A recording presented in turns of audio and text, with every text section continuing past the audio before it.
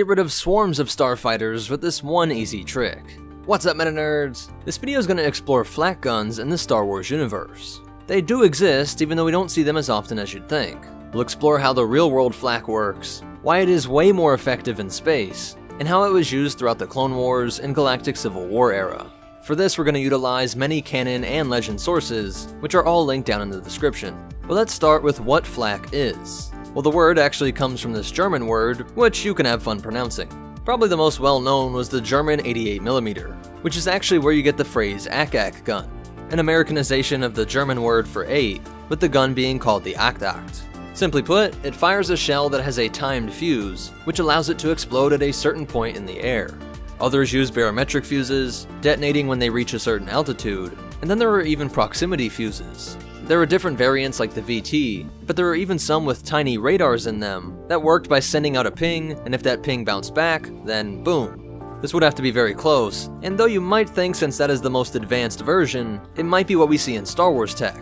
But you'll see why this might actually be the worst version to use. And then there's some variation on the actual flak explosion. Sometimes it was just incendiary, but usually it was shrapnel, being metal shards, ball bearings, or metal rails that would explode out in all directions. If we look at the guidebook Lead by Example, we get a brief explanation of Star Wars flak firing the same kind of stuff. But what's really interesting is how advanced the target acquisition tech of World War II flak guns was. This is an actual Air Force training motion picture, and I highly recommend you watch the full thing, linked down below. Despite fears of copyright or even espionage for releasing restricted War Department footage, have a listen to the level of advanced tech that was used in flak guns of this era. First, the aircraft is picked up in an optical sight and held on the crosshair. The sight keeps tracking it continuously, obtaining its direction and angular height while a stereoscopic rangefinder determines the altitude. At night or in bad weather, the aircraft may be tracked solely by radar, whether tracked by optical sight or by radar, the information is fed by electric cable to a director. This mechanical quiz kid digests the data and automatically computes the right lead, setting the guns.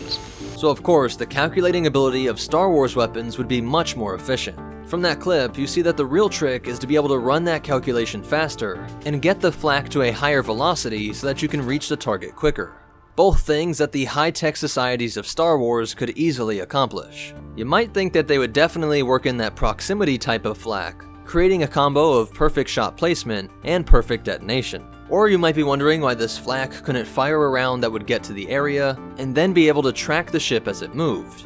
Something like we see with Discord missiles fired by Vulture droids during the Battle of Coruscant. Anakin is able to shake them by spinning, always a good trick, forcing the missiles to crash into each other.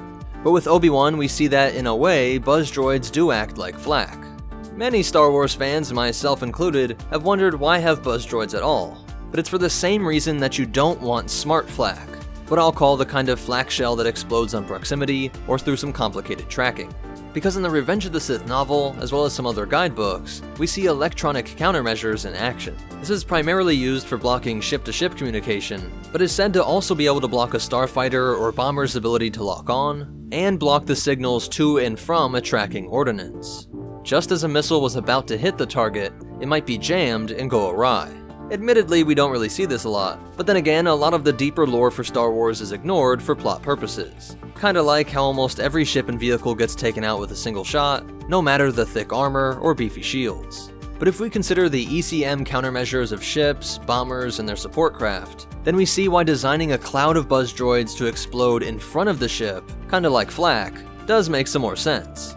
And there's clips in the Clone Wars that do confirm that Discord missiles are supposed to explode in front of the enemy starfighter. And this fear of ECM jamming is why the couple paragraphs on Flak that we do get says that they quote, burst at set distances, still doing it the old timed fuse way. Ironically, they're not advanced precisely because of how much other technology has advanced.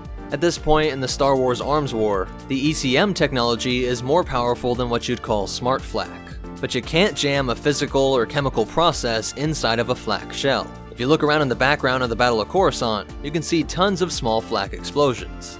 It's spread just about everywhere, and some of them have this cool green coloring when they explode.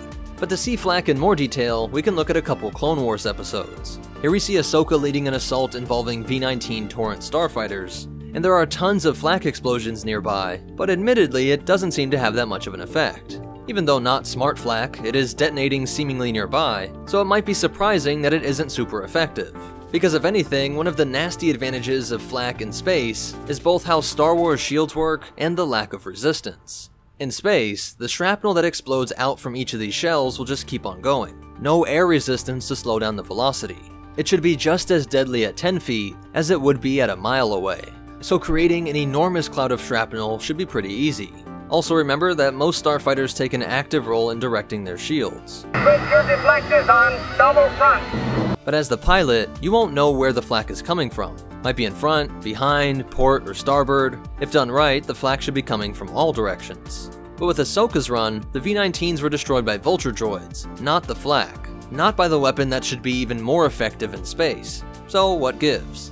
I think this has to do in part with the fact that the shields might be absorbing some of the shrapnel. Those solid objects should pass through most shields, but they're not always consistent on this. So really the better thing to point out is that flak was never incredibly effective at taking down aircraft. Ack-Ack fanboys don't get triggered. I'll explain. Tons of research has been done on this, and both American and German manufacturers hyped up the effectiveness of flak guns, with one German manufacturer claiming that they could down an aircraft with just 50 shells. The actual research shows that it was something more like 12,000 shells for a single aircraft. But that really isn't the whole picture.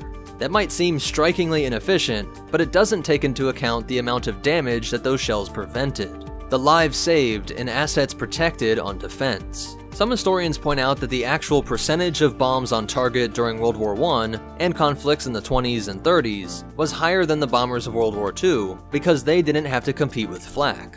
According to the National Museum of the United States Air Force, on a crucial run towards a German ball bearing factory in 1943, 250 B-17 bombers dropped their entire payloads, but only 10% of those bombs actually landed within 500 feet of the target.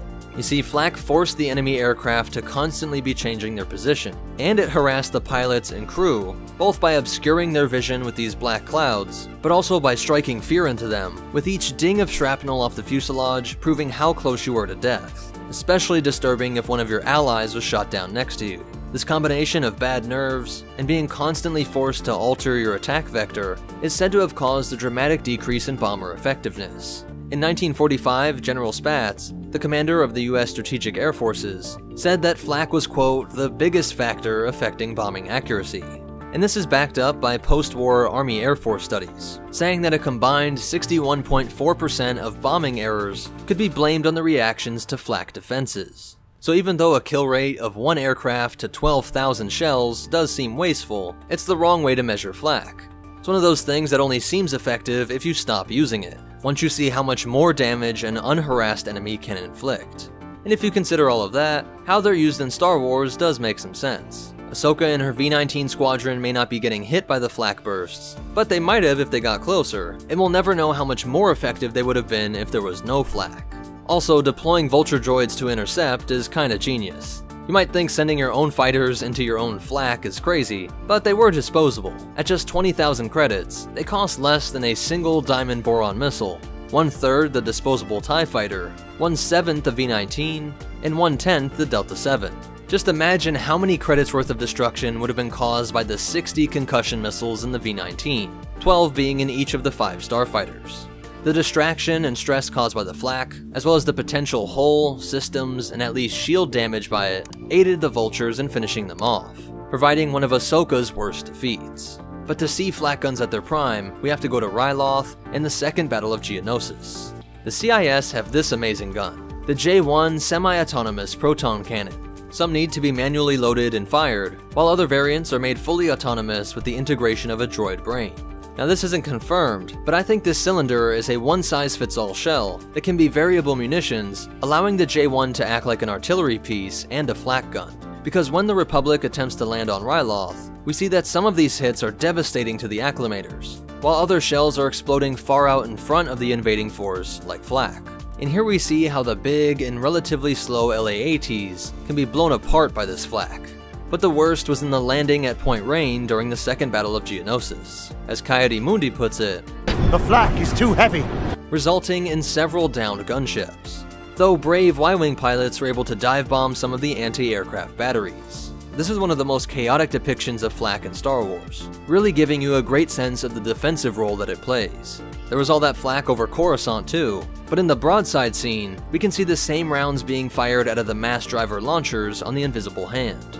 It's called a mass driver because it fires a wide range of specialized munitions, with these likely being armored piercing high explosives. But the lore says that these are the same as those fired by the J-1, and so I think back on Ryloth, he had some guns shooting high explosive shells at the acclamators, and others firing flak.